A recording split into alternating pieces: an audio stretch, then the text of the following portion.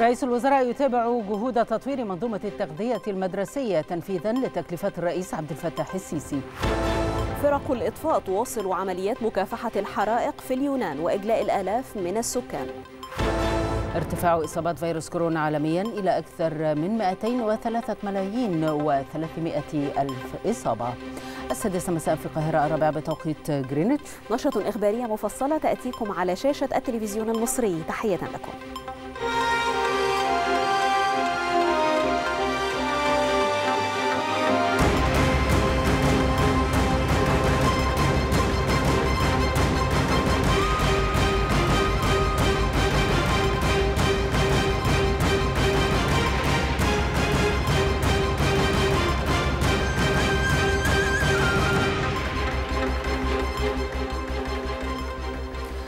أكد رئيس الوزراء مصطفى مدبولي الاهتمام الكبير الذي يحظى به ملف التغذية المدرسية من قبل الرئيس عبد الفتاح السيسي. خلال اجتماعه مع وزراء التربية والتعليم والصحة والزراعة تابع مدبولي جهود تطوير منظومة التغذية المدرسية وما تم من إجراءات في هذا الصدد والتعرف على المكونات الأساسية لهذه الوجبة وما بها من عناصر غذائية متكاملة تسهم في وقاية الطلاب من العديد من الأمراض.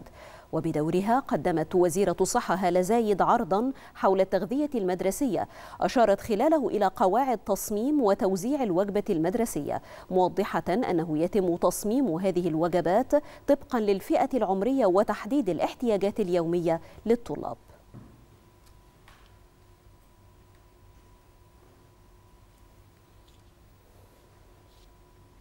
التقى رئيس مجلس الوزراء مصطفى مدبولي وزير قطاع الأعمال العام هشام توفيق لاستعراض عدد من ملفات عمل الوزارة خلال هذه المرحلة. خلال اللقاء تناول وزير قطاع الأعمال العام الخطوات والإجراءات التي يتم اتخاذها لإقامة المزيد من محطات شحن السيارات الكهربائية وما تضمن ذلك من تحديد للمواقع داخل المحافظات المستهدفة خلال هذه الفترة لإقامة هذه المحطات موضحا أنه من المقرر إنشاء ثلاثة آلاف محطة شحن مزدوجة بهذه المحافظات. وخلال اللقاء تطرق هشام توفيق إلى الجهود المبذولة للترويج للمنتجات المصرية والنفاذ بها إلى الأسواق العالمية.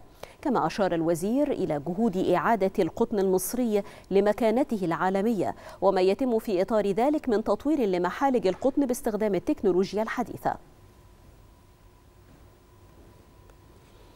قال رئيس مجلس الوزراء مصطفى مدبولي إن الحكومة مهتمة بتنظيم عمل الشركات العاملة في مجال تطوير البرمجيات وتكنولوجيا المعلومات وتطوير صناعة السيارات وما يتصل بها من تكنولوجيا.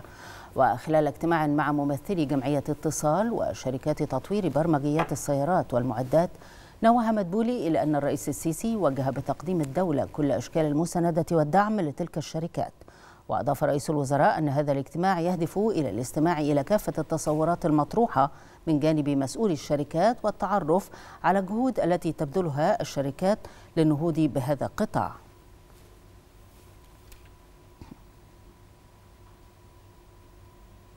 أكد رئيس مجلس الوزراء مصطفى مدبولي أن الحكومة تشجع وتدعم وبكل السبل الممكنة كل الأفكار والجهود من الشباب المصري. وشدد رئيس الوزراء خلال لقائه مصطفى قنديل الرئيس التنفيذي لإحدى شركات النقل الجماعي على استعداد الحكومة لمناقشة جميع التحديات التي قد تواجه هؤلاء الشباب وتذليل العقبات أمامهم حتى يتمكنوا من الانطلاق بأعمالهم إلى آفاق أكثر نجاحاً. من جهته أكد قنديل أن مئات المشروعات في مصر استطاع أصحابها أن يصنعوا علامات فارقة ونجاحات مبهرة يمكنها أن تدخل غمار المنافسة عالميا مشيرا إلى أن هذا كله يعود إلى توجه الدولة الواضح لدعم مجال ريادة الأعمال والشركات الناشئة. أكدت وزارة الاتصالات وتكنولوجيا المعلومات أن قرار الرئيس عبد الفتاح السيسي بإنشاء جامعة مصر للمعلوماتية بمدينة المعرفة في العاصمة الإدارية الجديدة يعكس رؤية القيادة السياسية لخلق جيل جديد من خبراء المعلوماتية مما يحقق نقلة نوعية في موقع مصر في الساحة الدولية. وأضاف وزير الاتصالات عمرو طلعت أن الجامعة تهدف إلى المساهمة في بناء مجتمع متخصص في المجالات الحديثة والمرتبطة بالاتصالات وتكنولوجيا المعلومات مشيرا إلى أنها أول جامعة في أفريقيا والشرق الأوسط متخصصة في الاتصالات وتكنولوجيا المعلومات والمجالات المرتبطة بها وتساعد في توفير المهارات الرقمية لتلبية المتطلبات المتزايدة للسوق المحلي المتزايد خاصة والإقليمي والعالمي عامة.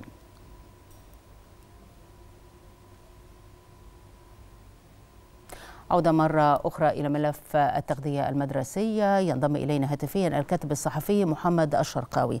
أه سيد محمد يعني اهتمام الرئيس بالتغذية المدرسية أه يعكس حرصه على التعليم وصحة الطلاب. برأيك كيف ينعكس ذلك بالتحديد على تطوير التعليم؟ تحياتي لحضرتك طبعا وتحياتي لجميع السادة المشاهدين. خلينا في البداية نتفق إن الرئيس مع ولايته الثانية أعلن مشروعين مهمين جدا وأولويات خلال هذه الفترة وهي التعليم والصحة وبناء الإنسان المصري. وبالتالي كان الرئيس عمل مبادرة 100 مليون صحة للمواطنين المصريين. بناء على نتائج هذه المبادرة خاصة فيما يتعلق بالأنيميا والسمنة والتقزم لطلاب المدارس وصلنا لنتائج إن لازم يبقى في وجبة مدرسية للطلاب يعني فيها مقومات تقلل من نسبة الأنيميا والسمنة والتقزم. وبالتالي كان اهتمام الرئيس ما فيش تعليم بدون صحة وما فيش صحة بدون تعليم. لازم الاثنين دايما مرتبطين ببعض عشان نخرج جيل متعلم عنده المقومات الصحية اللي تأهله للعمل وخدمة هذه الدولة المصرية أو العمل حتى خارج القطر المصري ويكون قادر وعنده المقدرة والقدرة الصحية على القيام بالمهام المكلف بها. وبالتالي إحنا كنا زمان ال الوجبة المدرسية بيتم تخصيص لها 3 مليون 5 مليون النهارده بنتكلم في 7 مليار جنيه لخدمة صحة طلاب المدارس من خلال هذه الوجبات المدرسية اللي هي بتمثل 25% هذه الوجبة من مقومات الوجبات اللي بيحتاجها الطفل طوال اليوم وبالتالي نعم. الرئيس اهتمامه بهذه الوجبات بيعكس مدى اهتمام القيادة السياسية بخلق جيل مختلف جيل يتمتع بقوة جسمانية وصحية وكل ما بنخرج هذه الأجيال عندها القدرة الصحية ومقومات الحياة اليومية بالتأكيد ده هيفرق مع مستقبل مصر خاصة أن هذا النقش هو مستقبل مصر القادم بإذن الله. وبالتالي خلينا نتفق أن الرئيس بيهتم بصحة المصريين اهتمام مبالغ فيه. لم نرى المبارات المبادرات الصحية اللي قامت بها الدولة خلال الفترة الماضية. تماما خلال عقود كثيرة من الزمان. عندنا آآ القضاء على قوائم الانتظار القوا... القضاء على نعم. فيروس سي. النهارده بنتكلم على وجبة مدرسية النهارده كنا بنتكلم من فترة على 100 مليون صحة مبادرات مليون يعني خاصة بالتغذية وأيضا خاصة بال... بالصحة. أيضا هناك إشادة دولية بما تم اتخاذه يعني برنامج الغذاء العالمي أشاد باهتمام الرئيس ببرنامج التغذية المدرسية. قراءتك لهذه الإشادة. بص حضرتك طبعا الإشادة الدولية بتعكس بتعكس حرص مصر أمام العالم كله على خلق جيل مختلف تماما عن الأجيال السابقة. إحنا عششت عندنا الأمراض المزمنة بالنسبة لطلاب المدارس يمكن يسأل في ده وزارة الصحة وأصحاب الدراسات إن إحنا أصبح عندنا أمراض في الأطفال سواء سكر سواء سمنة سواء أنيميا سواء تقزم وكل ده له تأثير كبير على التحصيل الدراسي اليومي بالنسبة للطلاب. وعندنا نسبة كبيرة جدا طبقا للدراسات فيها تخلف عقلي بعض الشيء لبعض الطلاب المصريين نتيجة هذه الأمراض. وبالتالي آآ آآ كل الاشادات الدولية بمبادره الرئيس لأن قلما تلاقي رئيس في هذه الفترة بيفكر في أدق التفاصيل المتعلقة بصحة المواطنين خاصة نعم. فيما يتعلق بطلاب المدارس إن هم كده كده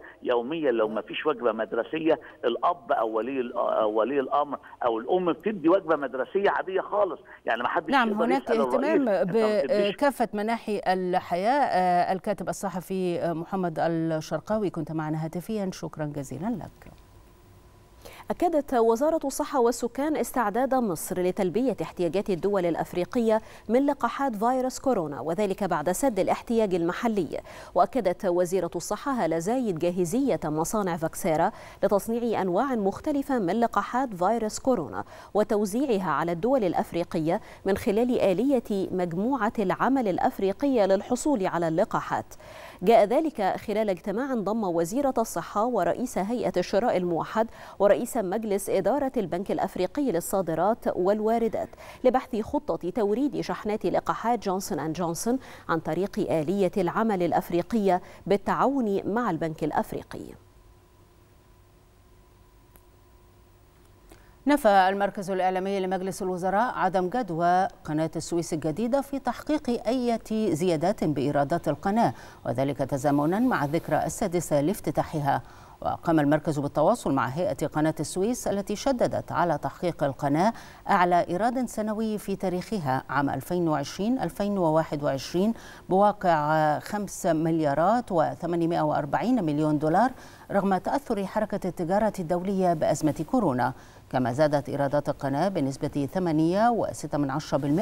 لتصل إلى 3 مليارات دولار في النصف الأول من 2021 حيث أسهم مشروع القناة الجديدة في زيادة القدرة الاستيعابية للقناة لتصل إلى 97 سفينة في اليوم مقارنة بنحو 77 سفينة في اليوم قبل افتتاح القناة الجديدة. أعربت مصر عن خالص تعازيها وصادق مواساتها للجمهورية الجزائرية. الجزائرية وشعبها الشقيق ولذوي ضحايا الحرائق التي اندلعت بعدد من الولايات الجزائرية والتي أسفرت عن وفاة وإصابة عدد من المواطنين. أكدت مصر وقوفها التام إلى جانب الجزائر الشقيقة في هذا الحادث الأليم معربة عن صادق تمنياتها بأن يمن الله بالشفاء العاجل على المصابين. في ضربة أمنية ناجحة تجسد أطر التعاون الدولي ضبط أكثر من خمسة ملايين قرص من عقار الكبتاجون المخدر تقدر قيمتها بحوالي 180 مليون جنيه داخل مركب قادمة إلى ميناء الإسكندرية البحري كانت في طريقها إلى إحدى الدول. تفرض أجهزة وزارة الداخلية رقابة حاكمة على منافذ البلاد الشرعية بهدف منع عمليات جلب وتهريب المواد المخدرة من خلالها. من هذا المنطلق وفي إطار التعاون الدولي مع أجهزة مكافحة المخدرات الدولية للحيلولة دون قيام التشكيلات العصابية الدولية باستغلال تلك المنافذ في جلب وتصدير المواد المخدرة. تمكنت الإدارة العامة لمكافحة المخدرات بقطاع مكافحة المخدرات والأسلحة والذخائر غير المرخصة من إحباط محاولة جلب كمية كبيرة من مخدر الكبتاجون كانت في طريقها لإحدى الدول العربية عبر ميناء الإسكندرية البحري. فبعد معلومات وتحريات للإدارة أفادت بوصول مركب قادمة من إحدى الدول إلى الميناء محملة بالعقاقير المخدرة المخبأة داخل إسطوانات أكسجين.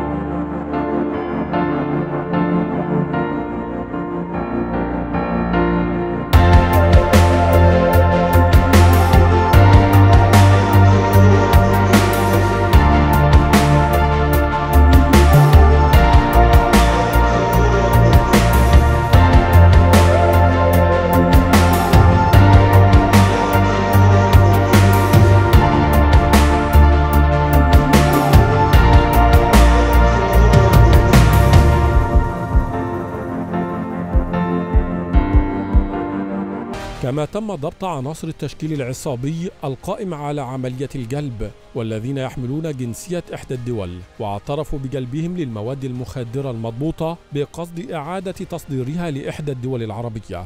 وتأتي تلك الضربة لتؤكد على مدى التعاون والتنسيق الدولي مع أجهزة مكافحة المخدرات الدولية في إحباط محاولات جلب وتهريب المواد المخدرة عبر منافذ البلاد الشرعية للوقاية من أخطار تلك السموم القاتلة التي تهدف النيل من شباب ومقدرات هذا الوطن.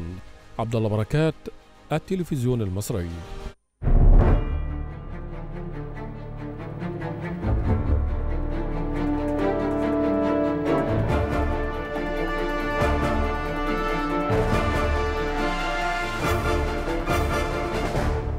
انطلقت أولى الفعاليات الإبداعية للمبادرة الرئاسية حياة كريمة في أربع قرى بمركز ساحل سليم التابع لفرع ثقافة أسيوط بإقليم وسط الصعيد الثقافي. وتنفذ الفعاليات قطاعات وزارة الثقافة وتستمر حتى نهاية أغسطس الجاري.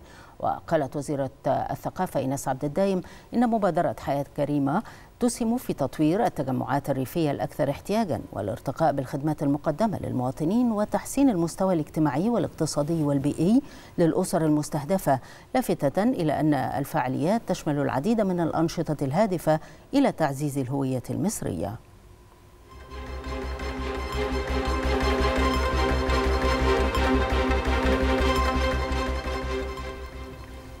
أعلنت مديرية الصحة بالدقهلية عن إطلاق قافلة طبية إلى قرية ميت أبو خالد بمركز ومدينة مدي... ميت غمر بالدقهلية وتستمر القافلة لمدة يومين وذلك ضمن المبادرة الرئاسية حياة كريمة. وقال وكيل وزارة الصحة بالدقهلية إن قافلة ضمت جميع التخصصات حيث تم توقيع الكشف الطبي على المواطنين وصرف الأدوية بالمجان إضافة إلى التحاليل والأشعة وإجراء الفحص الطبي للحالات المزمنة وتحويلها للمستشفيات لاستكمال العلاج. قوافل في قرى أكثر احتياجا لخدمة الأخصائي بيبقى فيها تخصصات اللي مش موجودة وبتبقى نادرة في الأماكن اللي موجودة بعيد. بيبقى فيها تخصصات الباطنية والجراحة والنساء والأطفال والجلدية وبيبقى في معامل معانا صيدلية بيبقى فيها حوالي يعني تقريبا معانا المرة دي حوالي 111 صنف من الأدوية المختلفة منها مضادات حيوية وأصناف كتير جدا أسعار غالية وأدوية نوعيتها كويسة جدا. تفقد محافظ بني سويف محمد هاني غنيم عددا من المشروعات الجاري تنفيذها بمركز ببا. يأتي ذلك ضمن المشروع القومي لتطوير القرى في إطار المبادرة الرئاسية حياة كريمة الذي يتم تنفيذه في 66 قرية بمركزي ببا ونصر. وقد تابع محافظ بني سويف سير العمل في مشروع المجمع الخدمي بقرية هلية الجاري إنشاؤه ضمن ست مجمعات خدمية. كما تفقد سير الأعمال الجاري تنفيذها بمدرسة هلية للتعليم الأساسي وفي المدرسة الإعدادية الثانوية. وذلك ضمن 19 مشروعا في قطاع التعليم بمركز بيبا. تنفيذ المشروعات على أرض محافظة بني سويف. وزي ما تعودنا إن إحنا كل أسبوع بنبقى في مركز مختلف. إحنا النهارده كنا في مركز بيبا في قرية هليه علشان نتابع المشروعات اللي بتتم. عندنا هنا مدارس الحمد لله داخلة خلاص في العام الدراسي القادم. عندنا مدرسة ابتدائي اتعملت في أقل من خمس شهور بتكلفة معدية 6 مليون جنيه. وجنبها مدرسة ثانية للثانوي الإعدادي. كل ده عشان يخف من التكدسات جوه الفصول. خلينا كمان نقول إن كمان للأهالي في مجمع خدمات إن شاء الله هيخرج إلى النور قريبا. إحنا بنتكلم في نسبة إنجاز 20% في لا وقت تقريبا. مشروع مهم جدا وهيؤدي إن كل مواطن يقدر ياخد الخدمات بتاعته اللي كان بيضطر إن هو يلف عليها في كل مكان.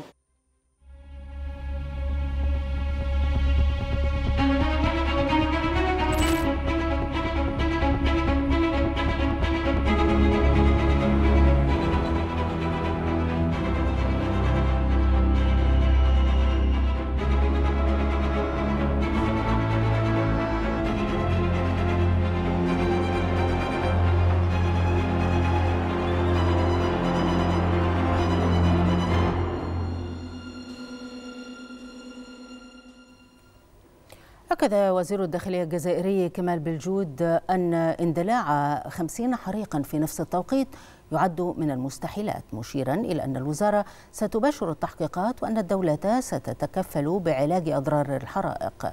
وفي الوقت نفسه أكد محافظ الغابات الجزائرية يوسف ولد محمد أن الحرائق التي اندلعت بعدد من المناطق سببها عمل إجرامي لا يمكن أن تكون لأسباب طبيعية.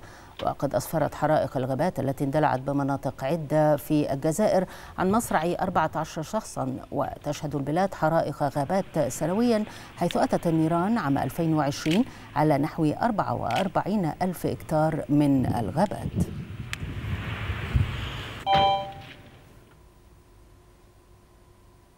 يواصل رجال الإطفاء في جزيرة إيفيا اليونانية جهودهم لمنع حريق هائل من الوصول إلى مدينة إستيا التي يقطنها آلاف السكان. وقد أتت الحرائق على آلاف الهكتارات من إيفيا وقد دمرت مئات المنازل وتم إجلاء أكثر من 2700 شخص عن طريق البحر. تشهد اليونان موجة من الحرائق الضخمة منذ أسبوعين بسبب الجفاف وموجات حرارة مرتفعة وقد أسفرت حتى الآن عن مصرع شخصين وإصابة العشرات. قال وزير الداخلية النمساوي كارل هيمر إن بلاده تكثف جهود المساعدات لمقدونيا الشمالية واليونان لمواجهة أزمة حرائق الغابات في البلدين مشيرا إلى أن الأهمية الكبيرة لتعزيز الإغاثة الدولية ضد الكوارث الطبيعية. وأكد الوزير النمساوي إرسال نحو 157 من رجال الإطفاء النمساويين لمكافحة الحرائق في البلدين باستخدام 49 مركبة. وأضاف الوزير أن مساعدات النمسا ركزت على حماية العديد من القرى والبلدات الصغيرة في مناطق الخطر. أعلن السلاح الجوي الهندي عن نشر ثلاث مروحيات للمساعدة في عمليات الإغاثة من الفيضانات بمنطقة جالان بولاية أوتار باراديش. وقد ذكر السلاح الجوي في بيانه اليوم أنه ألقى نحو خمسة ألاف كيلوغرامات من مواد الإغاثة في المنطقة منذ يوم السبت حتى الآن.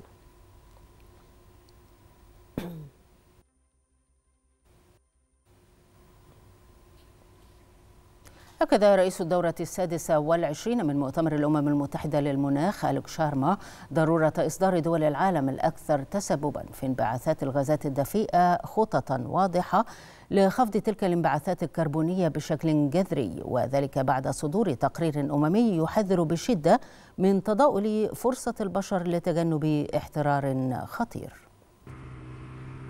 كوارث طبيعية غير مسبوقة تضرب العالم وسط موجات حر وفيضانات متتالية نتيجة التغيرات المناخية. وقبل أقل من ثلاثة أشهر من مؤتمر الأطراف السادس والعشرين في جلاسكو البريطانية نشر الجزء الأول من تقرير الهيئة الحكومية الدولية والمعنية بتغير المناخ. التقرير أشار بإصبع الاتهام للبشر قائلا إنهم مسؤولون بشكل لا لبس فيه عن الاضطرابات المناخية وليس لديهم خيار سوى تقليل انبعاثات الغازات الدفيئة بشكل كبير. وهذا التقرير التقييمي الأول منذ سبع سنوات والذي أقره موفد 195 بلدا الأيام الماضية؟ يستعرض خمسة سيناريوهات لانبعاثات الغازات الدفيئة من الأكثر تفاؤلا إلى الأكثر تشاؤما. وفي كل الحالات سيصل الاحترار العالمي قرابة العام 2030 إلى واحد ونصف درجة مئوية مقارنة بعصر ما قبل الثورة الصناعية أي قبل عشر سنوات من التقدير السابق للهيئة في العام 2018 وبحلول العام 2050 ستستمر الزيادة فوق هذه العتبة وهي أحد حدود اتفاق باريس للمناخ حتى لو نجح العالم في الحد بشكل كبير من انبعاثات الغازات الدفيئة. وإذا لم تخفض هذه الانبعاثات بشكل حاد سيتم تجاوز عتبة درجتين مئويتين خلال القرن الحالي. وللمرة الأولى تشير الهيئة الحكومية الدولية المعنية بتغير المناخ إلى عدم القدرة على استبعاد حدوث نقاط تحول مثل ذوبان الغطاء الجليدي في القارة القطبية الجنوبية أو موت الغابات ما قد يؤدي إلى تغير جذري للنظام المناخي وغير قابل للعلاج. وللمزيد من المتابعة ينضم إلينا عبر الهاتف الدكتور علاء النهري النائب رئيس المركز الإقليمي لعلوم وتكنولوجيا الفضاء بالأمم المتحدة. بالتأكيد يعني هناك تزايد في الحرائق الخاصة في دول جنوب أوروبا وهذا هو ما نتابعه بشكل متكرر. الأسباب المباشرة وراء هذه الحرائق فضلا أيضا عن الفيضانات التي نتابعها في الكثير من الدول.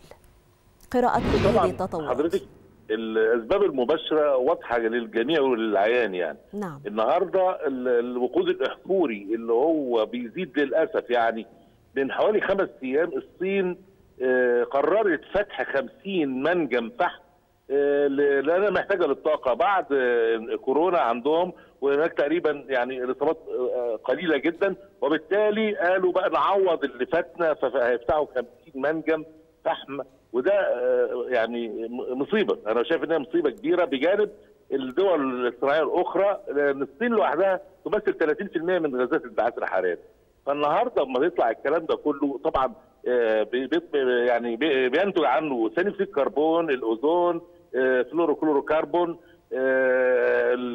ودي غازات دفيئه يعني معروفة إنها غازات دفيئه وتؤثر بشكل كبير جدا.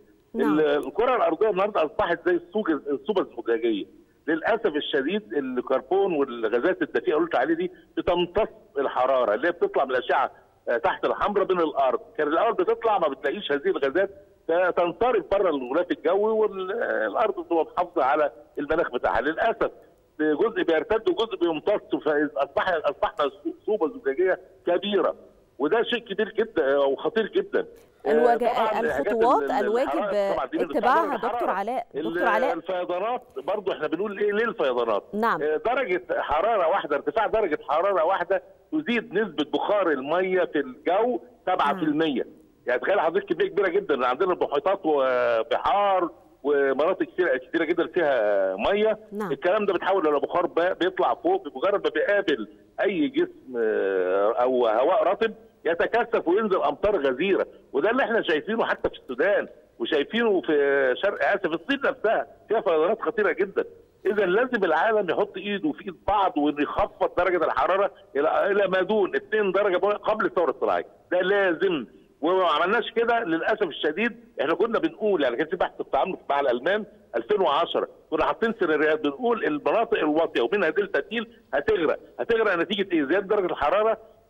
بينتج عنه ذوبان للجليد في المحيطات. وأنا بشوف من خلال صور فضائيه على طول ذوبان بشكل كبير جدا. كنا بنقول بعد سنة 2100 هيحصل غرق للمناطق الواطية. ومنها دلتا النيل النهارده بقول 2050 يعني للأسف الشديد زيادة درجة الحرارة وعدم اهتمام واكتراث العالم بالغازات الدافئة ده شيء خطير جدا وهيدمر الكرة الأرضية للأسف الشديد. في إطار كل هذه المعطيات لا 2050 في إطار كل هذه المعطيات التي ذكرتها دكتور علاء يعني يعني برأيك ما هي أبرز الخطوات التي يجب اتباعها لمواجهة هذه المخاطر الخاصة بالتغير المناخي لأنها تغيرات كثيرة وفي الكثير من الدول وكما نتابعه في منتهى الخطورة يعني نعم. برأيك ما هي أبرز هذه الخطوات التي يجب أن يتم اتخاذها خلال هذه الفترة تحديدا أبرز الخطوات اللي موجودة لازم قادة العالم يحذو حذو سياسة الرئيس السيد الرئيس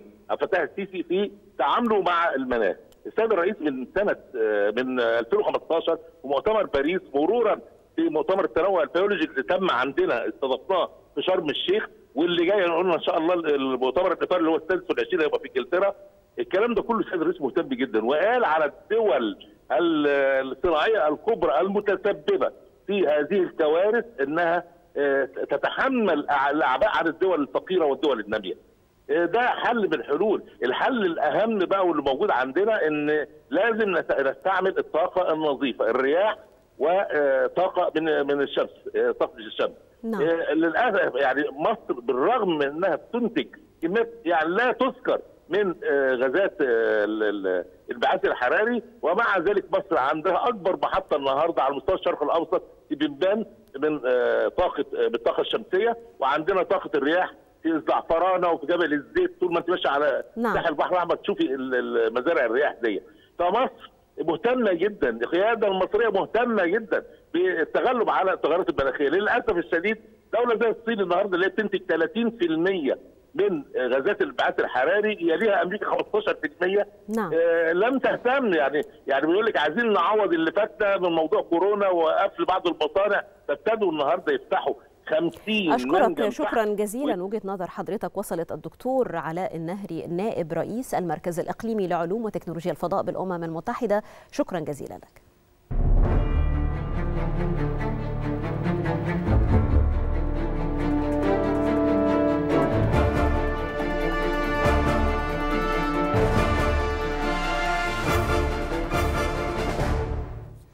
ارتفعت إصابات فيروس كورونا عالميا إلى أكثر من 203 ملايين و300 ألف إصابة حسب آخر إحصاءات جامعة جونز هوبكنز. يأتي ذلك فيما وصلت حصيلة الوفيات إلى أكثر من 4 ملايين و300 ألف حالة وقد تصدرت الولايات المتحدة قائمة الدول من حيث عدد الوفيات جراء الفيروس بنحو 617 ألف حالة وفاة. تلتها البرازيل بنحو 563 ألف حالة وفاة وجاءت الهند في المرتبة الثالثة والمكسيك في المرتبة الرابعة من حيث عدد الوفيات. سجلت الهند 28204 إصابات جديدة بفيروس كورونا خلال الساعات الأربع والعشرين الماضية. تعد هذه أقل حصيلة إصابات يومية منذ 147 يوما ليرتفع بذلك إجمالي المصابين إلى 31 مليون و998 ألف شخص. وقد ذكرت وزارة الصحة الهندية أن البلاد سجلت أيضا خلال الفترة نفسها 373 وفاة جديدة ليصل إجمالي الوفيات منذ بدء الجائحة إلى 428,682 شخصاً. في أستراليا سجلت مدينة سيدني وهي كبرى مدن البلاد حصيلة قياسية لعدد الإصابات بفيروس كورونا على الرغم من دخول أكثر من خمسة ملايين شخص أسبوعهم السابع من الحجر. وفي ولاية نيو ساوث ويلز تم تسجيل 356 إصابة جديدة وهو عدد قياسي منذ عودة انتشار الوباء على نطاق واسع في منتصف يونيو بسبب المتحورة دلتا. هذا وقد تلقى نحو 20% فقط. من الأستراليين جرعتين من اللقاح بسبب مشكلات في الإمداد وتشكيك السكان باللقاحات على نطاق واسع. رفع انتشار السلالة المتحورة دلتا أعداد المصابين بكورونا داخل المستشفيات وخارجها بالولايات المتحدة لأعلى مستوى منذ ستة أشهر. بلغ متوسط عدد حالات الإصابة بكورونا 100 ألف لثلاثة أيام على التوالي وزاد عدد المصابين بكورونا في المستشفيات بنسبة 40% دلتا اسم بات يثير الرعب في النفوس وهي سلالة فيروس كورونا الأكثر تفشيا على المستوى العالمي والأكثر خطورة حتى الآن بحسب تحذيرات منظمة الصحة العالمية. ومنذ اكتشافها في الهند للمرة الأولى قبل عدة أشهر تواصل معدلات العدوى والإصابة بدلتا في التزايد بعد أن أثبتت هذه السلالة قدرتها على نقل العدوى للمحصنين باللقاحات حتى إنها انتشرت في 32 دولة حول العالم على الأقل. منظمة الصحة العالمية صنفت دلتا بأنها سلالة مثيرة للقلق أثبتت قدرتها على الانتشار على نحو متصاعد وهي المسؤولة عن الأعداد الكبيرة من الحالات المرضية الحادة بالفيروس وتشير أصابع الاتهام إلى هذه السلالة الفتاكة حيث أدت لتقليص فوائد لقاحات كورونا. وكشف باحثون صينيون أن عدد الفيروسات التي تم اكتشافها في مصابين بسلالة دلتا يزيد أكثر من ألف مرة مقارنة مع النسخة الأصلية من فيروس كورونا.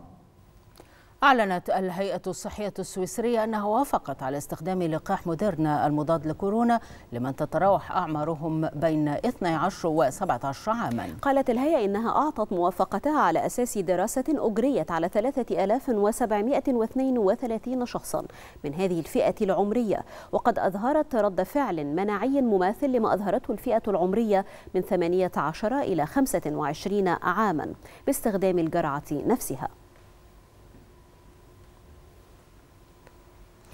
انعكست الإجراءات الاستثنائية السياسية للرئيس التونسي قيس سعيد بالإيجاب على الملف الصحي بالبلاد. في هذا الإطار نجحت الدولة التونسية في مواجهة فيروس كورونا حيث بدأت أعداد الإصابة في الانخفاض في ظل عمليات تلقيح مكثف ضد هذا الفيروس.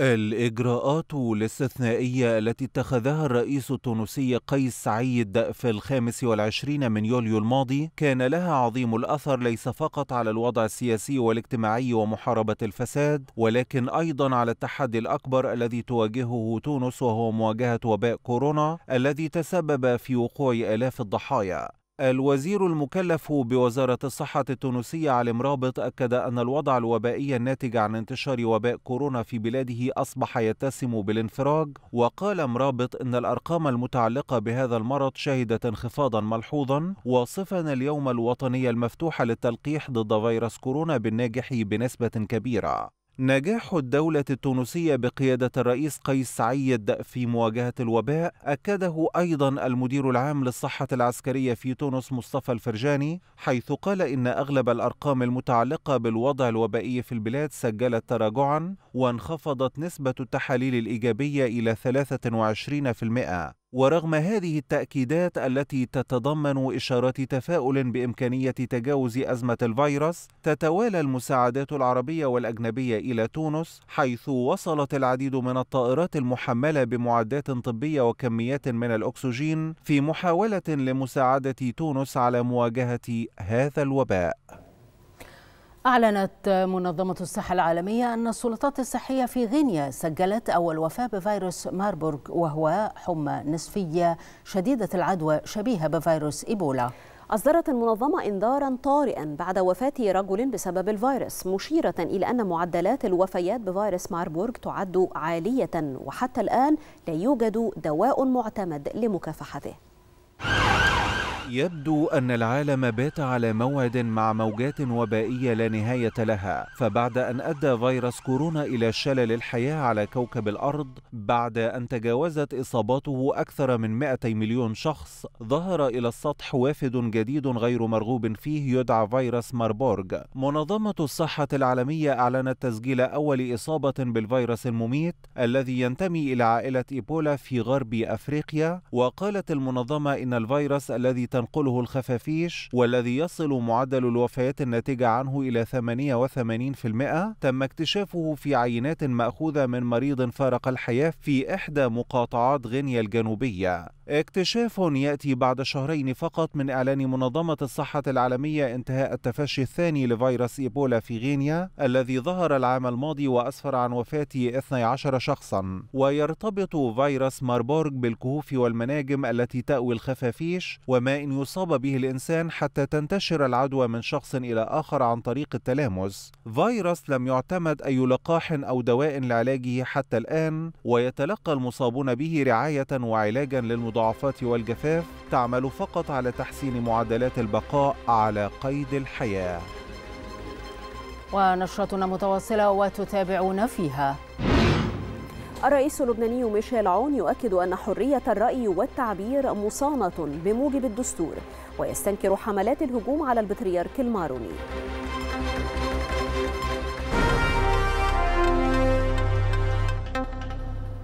أعلنت السلطات العراقية تعرض خطوط الكهرباء بين كركوك وبيجي لعمل تخريبي ما تسبب بسقوط سبعة أبراج ناقلة للطاقة الكهربائية. وقد ذكرت شركة الكهرباء الشمالية أن عمليات استهداف الخطوط الناقلة للكهرباء تزيد وبشكل كبير حيث تتعمد التنظيمات الإرهابية استهداف منظومة الكهرباء.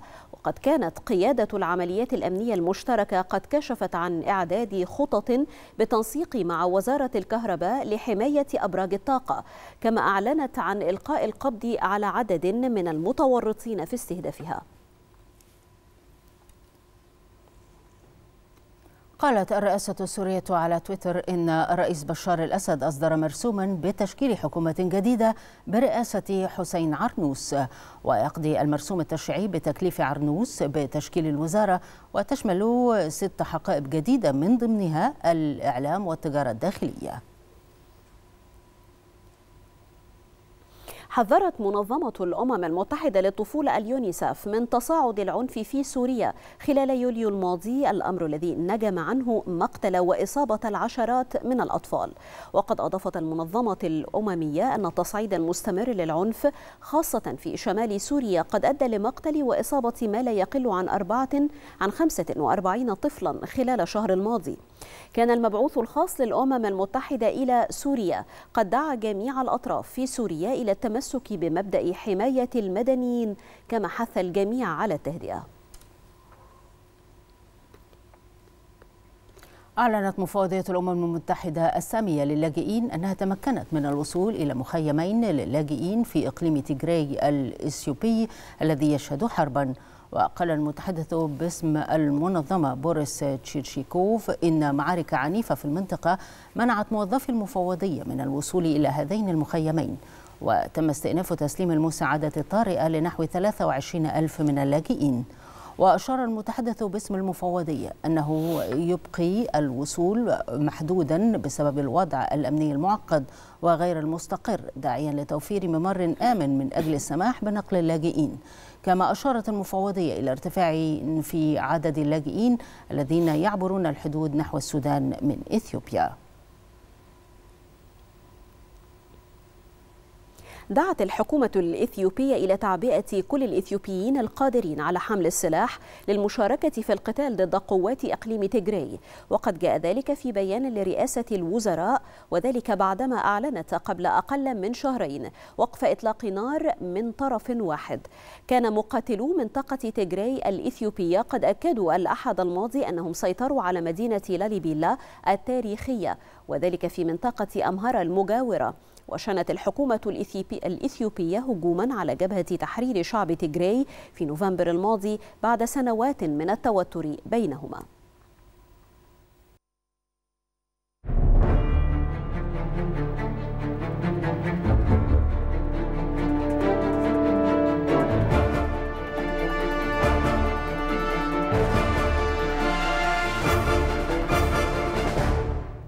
شدد الرئيس اللبناني ميشيل عون على أن حرية الرأي والتعبير مصانة بموجب الدستور وأكد عون خلال اتصال هاتفي مع البطريرك الماروني بشار بطرس الراعي أكد أن أي رأي يجب أن يبقى في الإطار السياسي ولا يجنح إلى التجريح والإساءة حفاظا على الوحدة الوطنية وضمانة الاستقرار العام في البلاد. واستنكر عون ما تعرض له البطريرك الماروني مما وصفه بحملات مرفوضة.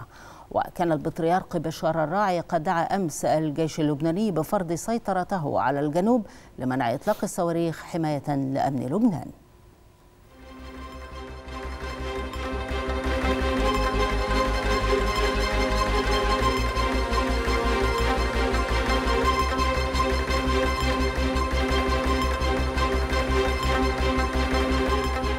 نفى المكتب الإعلامي لرئاسة الجمهورية اللبنانية اعتزام الرئيس ميشيل عون طلب الحصول على 12 مقعدا وزاريا من أصل 24 مقعدا في الحكومة المزمع تشكيلها. من جهته أعلن المكتب الإعلامي لرئيس الحكومة المكلف نجيب ميقاتي أنه لما تعقد أي لقاءات بين رئيس الحكومة وأي وسيط لرئيس الجمهورية أو مفاوضات جانبية حول تشكيل الحكومة.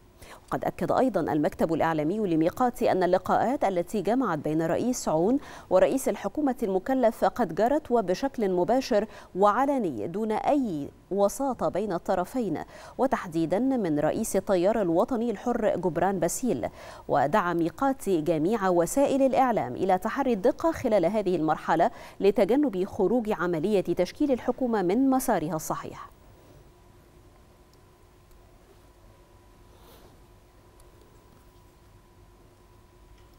يشهد لبنان أزمة اقتصادية ومالية حادة تراجعت معها القدرة الشرائية للمواطنين.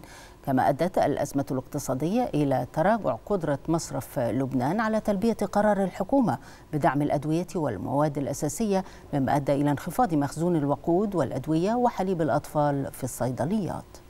حوادث دامية يشهدها لبنان على وقع الأزمة الاقتصادية الطاحنة التي تضرب البلاد وإشكالية نقص الوقود. الجيش اللبناني قال في بيان له إن ثلاثة أشخاص لقوا مصرعهم في مشاجرات تتعلق بالنقص الحاد في الوقود وعودة الطوابير الممتدة أمام المحطات. وأوضح بيان للجيش أن رجلا قتل خلال مشادة بشأن تعبئة الوقود شمال لبنان مشيرا إلى أن اثنين آخرين قتل في طرابلس للسبب نفسه. ويعاني لبنان أزمة في توفر الوقود واضطرت الحكومات المتعاقبة إلى رفع سعره وبسبب الأزمة الاقتصادية الحادة التي تضرب البلاد وتراجع قيمة العملة المحلية لا تتوافر الاعتمادات اللازمة لتمويل الواردات من الوقود. أزمات عدة تواجه لبنان فشلت النخبة السياسية في وضع نهاية لها مما انعكس على تردي الأوضاع الاقتصادية وهو ما دفع اللبنانيين للتظاهر ومطالبة السياسيين بإنقاذ البلاد مما هي فيه.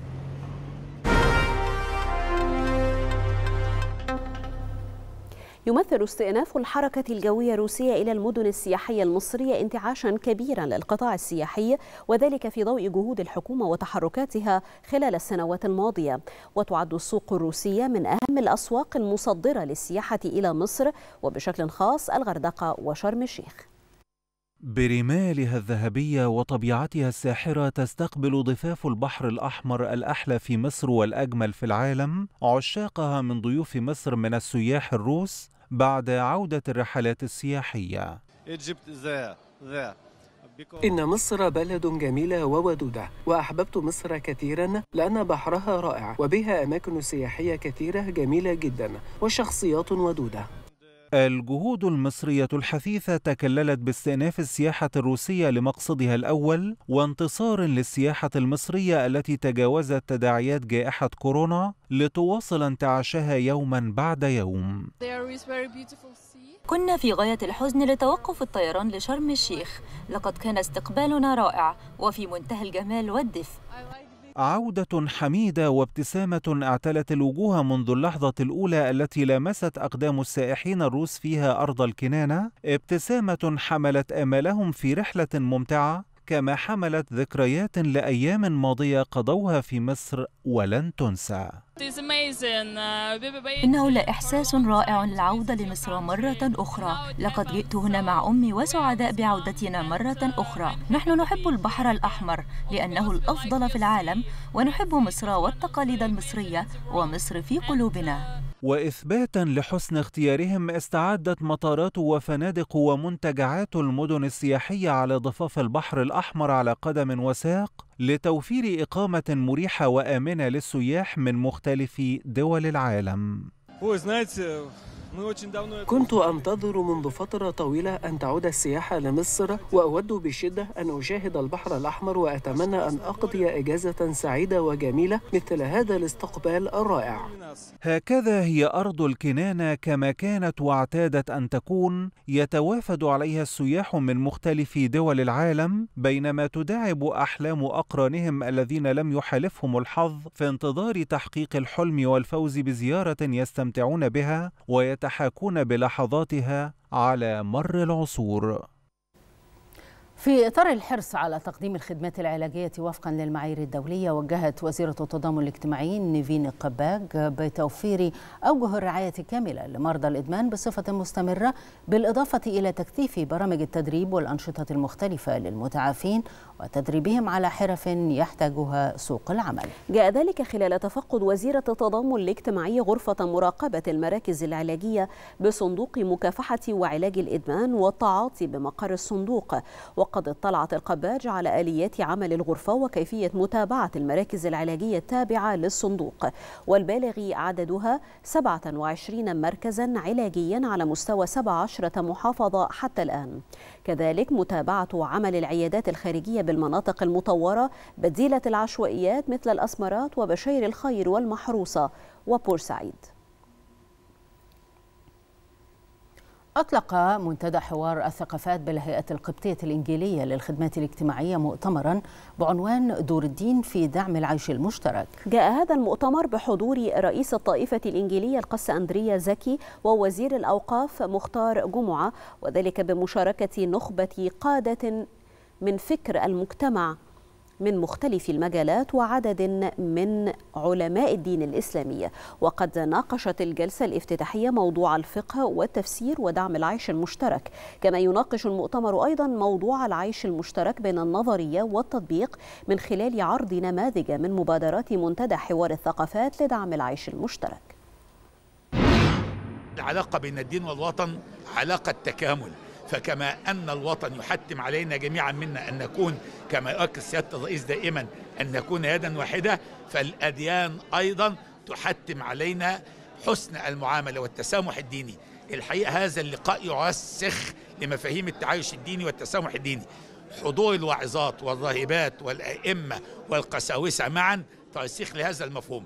اللي بنأكد عليه أن لقاءاتنا لقاءات وطنية بحب وبتسامح وبوطنية كاملة آه وبندعم هذا وبندعو إلى ترسيخ ذلك وبندعو إلى تكثيف هذه اللقاءات. وفي ظل القيادة السياسية الحكيمة التي تدفع نحو المواطنة والتي تدفع نحو التعددية وقبول الآخر يأتي هذا اللقاء ليعبر أن الدين له دور إيجابي هام جدا وأن القيادة الدينية أيضا بتلعب دور مهم في دعم العيش المشترك ودعم المواطنة.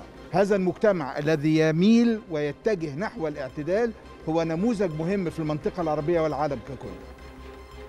والآن نتحول إلى الشأن الاقتصادي في هذه النشرة. أهم أخبار المال والأعمال مع ميرفت المليكي إليك ميرفت. شكرا سحر وريهام وأهلا بكم مشاهدينا مع أخبار المال والأعمال أخبار الاقتصاد.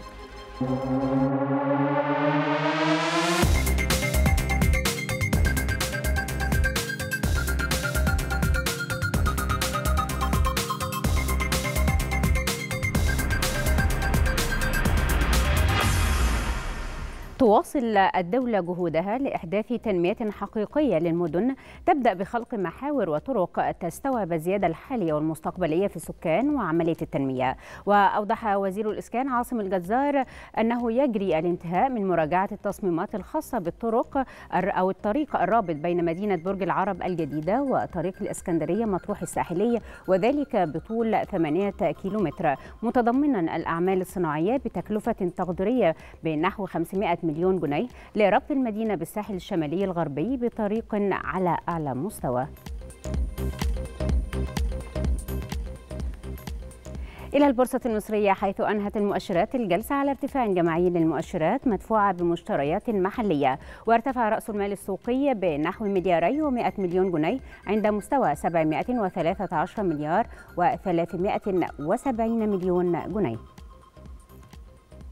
وعلى صعيد المؤشرات فقد ارتفع مؤشر EGX 30 بنسبة 49 من 100% ليغلق عند مستوى 10853 نقطة. كما ارتفع أيضا مؤشر الشركات الصغيرة والمتوسطة EGX 70 والذي ارتفع بنسبة 44 من 100% ليغلق عند مستوى 2866 نقطة.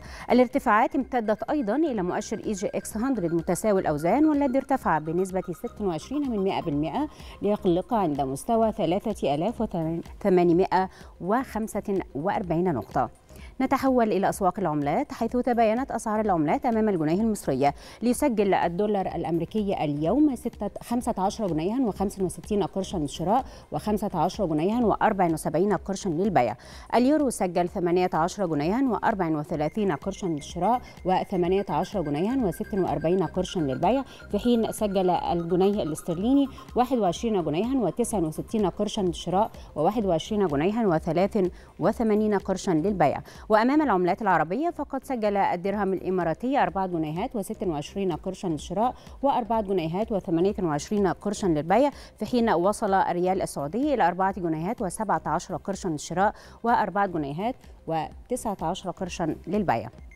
إلى أسواق المعادن النفيسة حيث ارتفعت أسعار الذهب العالمية ليصل إلى 1734 دولارا و58 سنتا للأوقية. أما على الصعيد المحلي فقد تراجعت أسعار الذهب. ليسجل الذهب عيار 18 نحو 650 جنيها عيار 21 758 جنيها عيار 24 سجل 867 جنيها. وأخيرا وصل سعر الجنيه الذهب إلى 6004 وستين جنيها. في ألمانيا أظهر مسح اقتصادي أن معنويات المستثمرين قد تدهور أو تدهورت للشهر الثالث على التوالي في أغسطس وذلك على خلفية مخاوف من تعثر التعافي في أكبر اقتصاد في أوروبا. بفعل زيادة الإصابات بفيروس كورونا وموجة الرابعة من الإصابات بالفيروس. وقال معهد البحوث الاقتصادية إن مؤشره لمعنويات المستثمرين قد انخفض إلى 40.4% من 63.3 نقطة في الشهر السابق.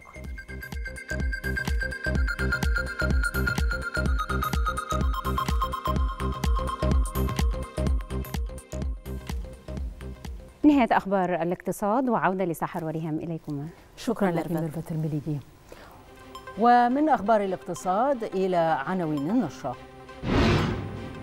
رئيس الوزراء يتابع جهود تطوير منظومة التغذية المدرسية تنفيذا لتكليفات الرئيس عبد الفتاح السيسي. فرق الإطفاء تواصل عمليات مكافحة الحرائق في اليونان وإجلاء الآلاف من السكان. ارتفاع إصابات فيروس كورونا عالميا إلى أكثر من 203 ملايين و300 ألف إصابة. وصلنا إلى ختام نشرة السادسة على شاشة التلفزيون المصري. شكرا لكم وإلى اللقاء.